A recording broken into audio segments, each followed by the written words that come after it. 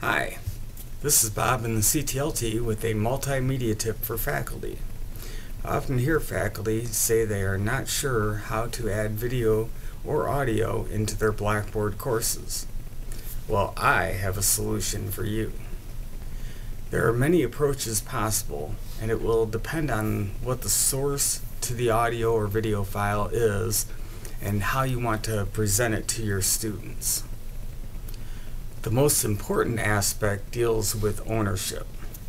If you have created the video or audio, or if you have obtained the copyright permissions, you will have the most options available to you, including hosting it on Waubonsee servers.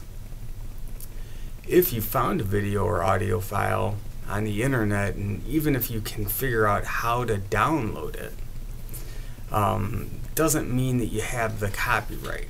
In this case, linking to the file may be the only option available.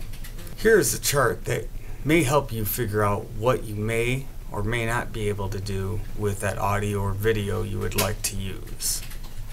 Now, these three questions should be answered to help determine the possible options.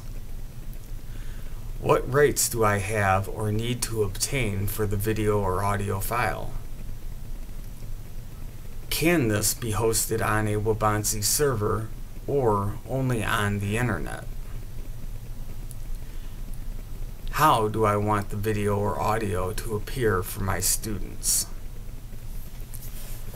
Remember, video and audio files can be used within your courses by going through these three questions. If you would like more assistance getting started or to learn the technical aspect of implementing multimedia in your course, look for the session on Blackboard audio, video, integration, and best practices offered through the CTLT. Also, if you have an idea that could be developed as a multimedia tip, please email us at ctlt at waubonsee.edu and let us